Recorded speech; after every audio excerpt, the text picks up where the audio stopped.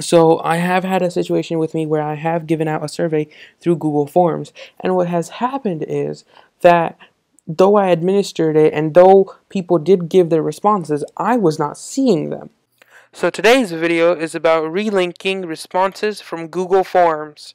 So guys, without further ado, let's get started.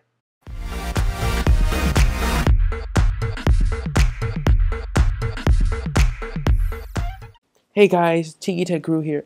So today I am going to be sharing with you a quick solution and a way to easily reduce your panic so that you don't have to reconduct that survey, resend out emails, and go into any sort of hazard.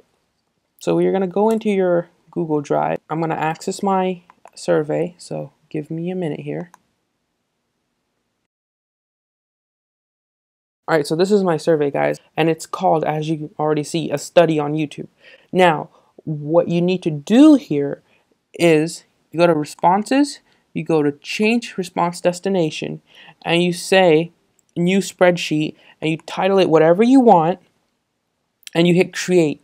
And a new spreadsheet will be created in your Google Drive in the same location your survey is in.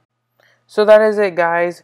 I hope you enjoyed the video and if you like it, make sure you give it a thumbs up. And please, if you want to see more videos, don't forget to hit the subscribe button. Also, if you would like to see something else that I could do a tutorial on, please feel free to leave a comment below.